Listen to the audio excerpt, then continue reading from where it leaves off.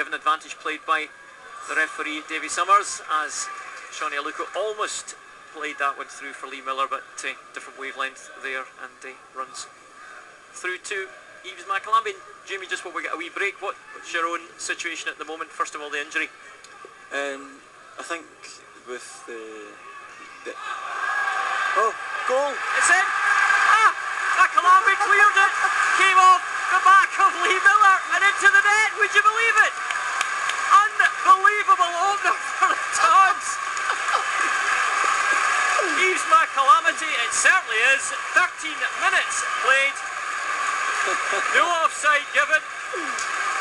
My goodness, David, first of all, what was that all about? I. I wasn't looking. I think um, he's got the ball and that's, we were just, you just asked me the question, how's your own situation, Jamie?